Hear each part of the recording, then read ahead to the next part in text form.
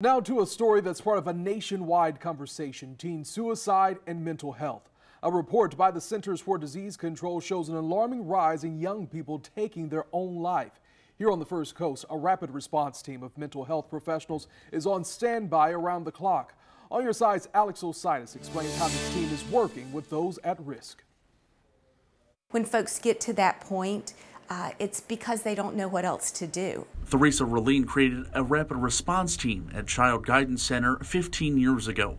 The goal intervene in an emergency and teach a positive outcome. Helping someone to feel like they're not alone, they're not the only one that feels these emotions. The artwork around her office, created by some of her young clients, saved. A 17 year study released in late 2019 paints a different picture.